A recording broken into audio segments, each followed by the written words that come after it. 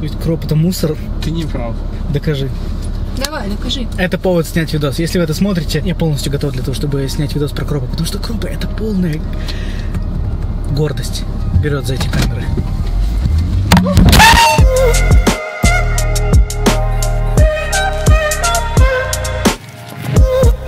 Если у вас кроп, то это неплохо. И здесь, как всегда, 90% зависит от самого фотографа, того человека, который фотографирует. И только 10% зависит от камеры. И сейчас я покажу, почему лучше заполнить эти 10% полнокадровой камерой. И перед тем, как я перейду к объектам многочисленных споров, объясню, что я не хейтер кропов. У меня самого долгое время был кроп, и я даже снимал видео о том, почему кроп это круто. Я думаю, многие из вас видели это видео. Но после перехода на полный кадр я как будто бы прозрел и понял, что Деда Мороза не существует, и такой... Для самых начинающих, что такое кроп? Или более правильно сказать, кроп-фактор матрицы. Это коэффициент обрезки изображения, который определяет угол захвата этого самого изображения. Для референса принято использовать полный кадр. Вот как сейчас вы видите, вот этот снят на полный кадр. Здесь кроп-фактор 1.0, то есть никакого кроп-фактора. У таких камер матрица размером 24 на 36 миллиметров. Они используются повсеместно в профессиональной индустрии как для фото, так и для видеосъемки. А есть камеры, у которых матрица больше или меньше, чем полный кадр. Мы, конечно же, сегодня говорим о всем, что меньше, чем полный кадр, потому что все, что больше, это средний формат и так далее. Это камеры, которые используются для очень узкоспециализированных задач, и стоят они просто космических денег, они, о них просто даже и, и как бы не принято говорить. Есть полный кадр, есть кропы. Короче, все, что меньше, чем 24 на 36 мм, называется кропом. Например, у Panasonic G7, на который мы сняли больше половины биролов и прочих материалов для этого видео, кроп-фактор 2.0, то есть у него матрица микро 4 третьих, которая по диагонали в два раза меньше, чем полный кадр, и по площади меньше в 4 раза. То есть есть вот полный кадр и вот кроп. Это микро 4 третьих. Что это нам дает? Не стал бы я рассказывать э, вам об этом, просто если бы это были сухие цифры. В первую очередь, кроп лишает нас возможности получать сверхширокоугольные кадры. На это нужно сделать очень большую ремарку, потому что э, там есть все-таки объективы, которые это делают, но об этом я позже расскажу более подробно. Также с кропом, используя любой объектив, любой, нельзя получить идеальное, мягкое, ультра-сверхсильное размытие фона. Вы можете получить хорошее размытие фона на кроп с самым лучшим объективом, но с объективом с такими же параметрами на полный кадр вы получите более сильное размытие фона. В темноте кроп зачастую показывает гораздо более хуже результаты, чем полный кадр. Потому что вот 20 мегапикселей на кропе, а вот те же 20 мегапикселей на полном кадре. По площади пиксель в 4 раза больше, значит света будет попадать больше и шумов будет меньше. Это в теории, но возможно есть и плюсы, возможно кроп чем-то таким сейчас нас всех удивит, и мы все перейдем на кропы. Не зря же люди их покупают, а продавцы продают. В первую очередь плюс кропа это технические характеристики, потому что зачастую за кроп вы платите меньше, а технологии всяких финдиклюшек и штучек вы получаете больше. Или хотя бы точно так же. Но зачастую больше. Также зачастую, зачастую, по размеру кропы гораздо меньше, чем полный кадр. Все, что я только что сказал, работает в теории. Но, как известно, э, теория в теории работает, а на практике не всегда. Поэтому давайте сейчас будем разбираться более подробно. Кстати, перед тем, как я начну, хотел у вас кое-что спросить. Я этот видос сделал одним огромным большим здоровенным видосом, но потом в конце передумал. И вот сейчас переснимаю некоторые моменты и хочу вас просто спросить, потому что видос получался довольно длительным, где-то минут на 30.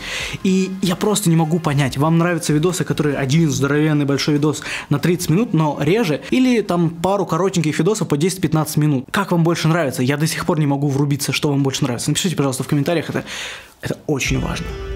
Просто для статистики.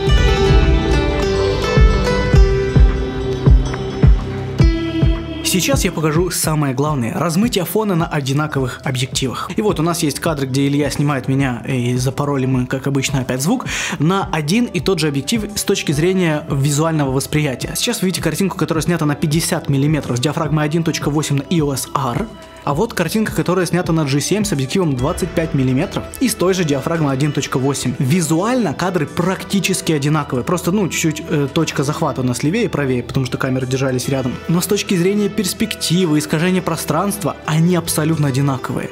Но есть одно но. Насколько более глубокой и объемной выглядит картинка с EOS R, с полного кадра. Раньше я всегда снимал на G7 и думал, это не так важно, особенно для видео, но насколько же оно мягкое, насколько мягкое размытие дает полный кадр. И вот просто в сравнении, да, посмотрите, это по сути один тот же объектив, потому что когда мы берем объектив 25 мм, ставим его на кроп 2.0, у нас по сути визуально выглядит это все как 50 мм, что прямо сейчас это доказывается. Но размытие фона никогда такого не будет. Итак, у нас есть два одинаковых объектива, 25 и 50 мм, которые на полном кадре 50, на кропе 25, но в конечном итоге выдают одну и ту же картинку. Давайте посмотрим несколько фотографий для сравнения. Я буду сейчас говорить и просто показывать на фоне эти кадры. Вы прямо сейчас видите результаты и это нахрен просто офигенно. Вы представляете, насколько просто уходит вдаль кадры с полного кадра. Тавтология, но пофиг. Это настолько просто большая разница. И я думаю, вы сейчас, когда смотрите на это, понимаете, почему я перешел на полный кадр. Потому что только с полным кадром и одним и тем же объективом можно добиться офигенных результатов. Да, сейчас можно было бы взять 70 какие-то миллиметров от Олимпуса с диафрагмой 1.7, по-моему, и сделать тоже максимально с размытым фоном. Но я возьму просто 85-ку и разорву пух и прах этот объектив. А может это все из-за того, что мы используем разные объективы? Может если бы мы использовали один и тот же, то все было бы совсем иначе? М? Ну давайте попробуем. Я специально подготовился и взял максимально просто для всех хейтеров, для всех, кто любит а, пописать свои комментулечки. Я помню просто под предыдущим видосом про кропы столько экспертов я еще в своей жизни не видел. Ну, в общем, я даже не знаю, для чего я это снимаю, если все эксперты, все и так знают. Короче, мы берем 600D. Это кропнутая камера с кропом 1.6. Мы берем Panasonic G7 с кропом 2.0. Мы берем EOS R с кропом 1.0, то есть кропа нет. И берем еще специальный переходник Booster для того, чтобы мы могли использовать один и тот же объектив на всех камерах. То есть мы сможем на камеру с Panasonic поставить объектив от Canon и в итоге получить максимальное количество света, максимально открыть диафрагму и все вот это. Посмотрим, кто выиграет. Итак, Три из этих кадров сделаны на объектив 50 мм от Canon, и только один сделан на оригинальный объектив от Panasonic на диафрагме 1.8. И все здесь везде одинаковое, то есть все мы постарались привести к максимально одинаковым значениям. Сидел я на одном и том же месте, мне камеру подавали, и я сфотографировал с одной и той же точки. И что мы можем видеть? Ой, как это можно объяснять? Люди постоянно пишут в комментариях, это не важно, что ты снимаешь, но просто такого размытия вы никогда в жизни не получите. Со спидбустером 50 мм превращаются 2.0 0, то есть 100 мм умножаем на 0,64, получается 64 мм. То есть 50 превратились в 64. Здесь еще не все так плохо. А вот на кропе 1.6 около 80 мм. По сути это 85 -ка.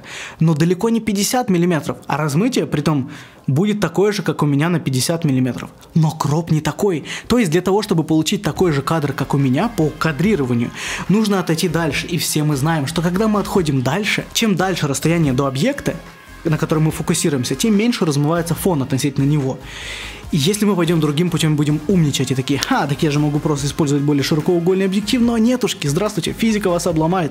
На широкоугольных объективах вы не получите сильное размытие фона, просто ввиду того, что на широкоугольных объективах в принципе невозможно получить сильное размытие фона, хотя я сейчас получаю, потому что я снимаю на 35-ку, и на 35-ку тоже довольно неплохо размывается. Но это не предел, это не прям вау. И в принципе, вот, ну правда ради, благодаря спидбустеру мы получили действительно неплохое размытие фона, неплохое кадрирование, и результат довольно неплохой. Но если бы спидбустер этот не стоил до 50 тысяч рублей, вы представляете, вот этот маленький переходничок стоит 50 тысяч рублей. Вы можете доплатить эти деньги просто в камеру или там в объективы, разделить как-то их и купить полный кадр и получать такие же офигенные кадры. И вы подумаете, какие тогда плюсы в кропах, если они во всем хуже, но плюсы есть. И однажды они заставили меня купить кроп вместо полного кадра, и я был очень рад этой покупке и даже рассказывал в том же самом видео, почему я выбрал кроп, если полный кадр лучше. Опять же, первое, что приходит в голову, это отличные технологии за довольно вменяемый ценник. Вы можете получить 4К камеру, как G7,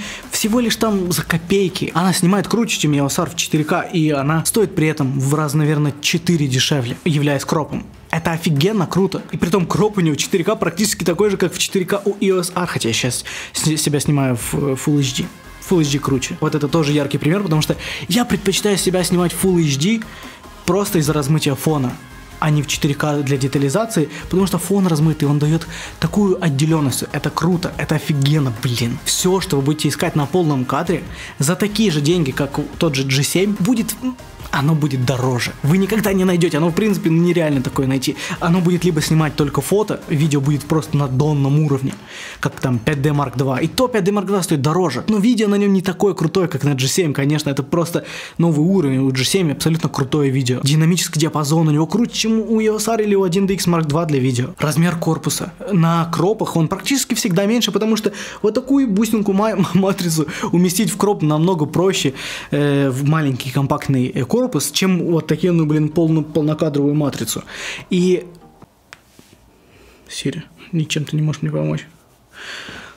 И опять же, ваш кропнутый G7 не перегреется спустя 10 минут съемки, 40 минут съемки, даже полтора часа съемки. Я снимал курс на него, и я точно знаю, что он не перегреется.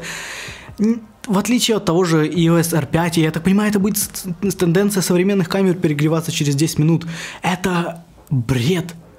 Ну, в этом плане кропы круче, потому что там-то перегреваться особо нечему, там матрица крохотная, и в отличие от полных кадров, Почему некоторые камеры снимают с кропом? Просто чтобы не перегреваться. Насколько Ну, хотя это все маркетинг, друзья мои. Нас обманывают. Масоны, блин. Заговор стопудово. Кстати, также у нас есть обратный широкоугольности эффект. Когда мы снимаем на широкоугольные объективы, нам приходится использовать объективы, допустим, вот чтобы снять, допустим, 16-35, нужно использовать 8-18. И, конечно же, в связи с этим у нас размытие фона будет меньше на 8-18, его практически не будет на таких миллиметражах. В этом смысле кроп хуже, но в чем он лучше, так это в том, что если вы хотите снять какой-то кадр на 400 мм, вам не нужно покупать бандурину 400 мм. Вы просто берете и подсоединяете 200 мм и снимаете. Хотя, в принципе, есть телеконвертеры, но тут вам даже телеконвертера не надо. Просто 70-200, бум, и вы уже снимаете с кропом 2.0 на 400 мм. Практически бесплатно. Кстати, объектива для кропа у меня не было, чтобы снимать максимально прям прямое сравнение 25, 50, 16, 35, 8-18 таких объективов у меня не было, кроп я давным-давно продал и подарил Илье там и так далее. Короче, благодаря тому, что я снял видос про 1DX Mark II, в котором сказал, чтобы если у вас есть какие-то камеры и так далее, присылайте их мне. Мне написали ребята из компании Frame Rental, мы сразу договорились о том, что они дадут мне те объективы, которые мне нужны, а я о них расскажу в видео, вот что я сейчас и делаю. Так что если вам нужно в аренду на несколько дней взять объективы, камеры, свет, кинокамеры и там или даже всякие там GoPro и прочие штуки, то, конечно же, обращайтесь к ним, у них реально прикольные, у них есть все. Вот что я понял, у них есть тупо все, если у них есть Ария Алекса, блин. Так что да, если вам нужны какие-то объективы просто на одну съемку или там на буквально несколько дней, то, конечно же, Frame Rental,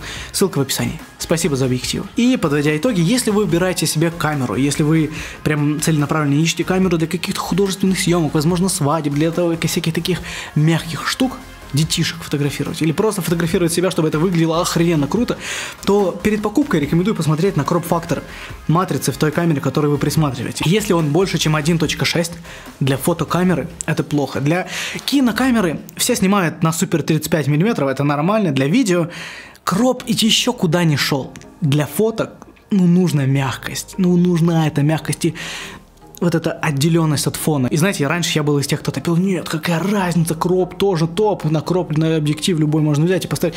Короче, только на полный кадр. Спонсор выпуска полный кадр.